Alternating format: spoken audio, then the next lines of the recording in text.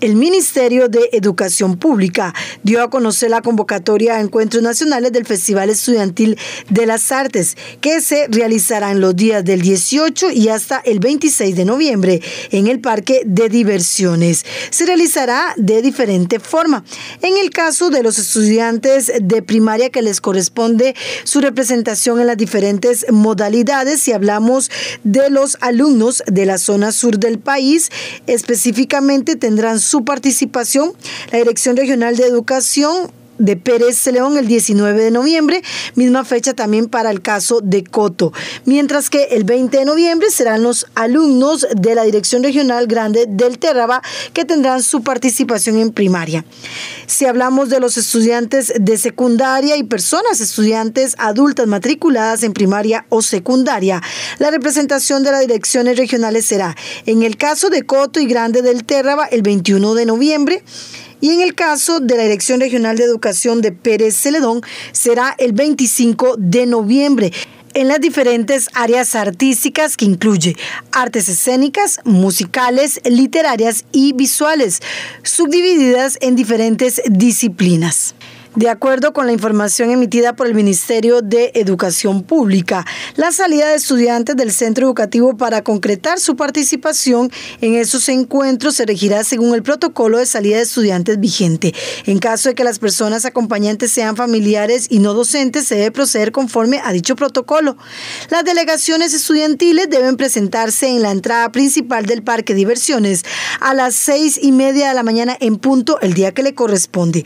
Al llegar al parque, que cada delegación estudiantil debe dirigirse a la entrada principal con las personas encargadas, en donde se les brindarán los detalles de la logística general de la actividad. Además, recibirán los tiquetes en lo que corresponde propiamente a la alimentación además de los brazaletes que les permitirá hacer uso de forma gratuita a las atracciones mecánicas del parque. Durante la mañana se estarán realizando las presentaciones artísticas y por la tarde, posterior al almuerzo, se podrá hacer uso de las atracciones mecánicas.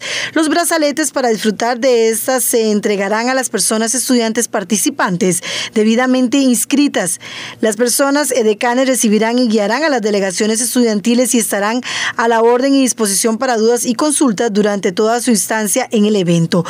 Todas las presentaciones artísticas se realizarán en diferentes espacios dentro del parque, los cuales se adaptarán para tal efecto. La información de la hora y el espacio, específicamente presentaciones artísticas, se le dará el día que le corresponde asistir para que lo tomen muy en cuenta. Otros aspectos que también menciona la institución es que en cuanto a la alimentación de las personas estudiantes participantes, se darán tiquetes de alimentación que se entregan a la llegada de cada delegación.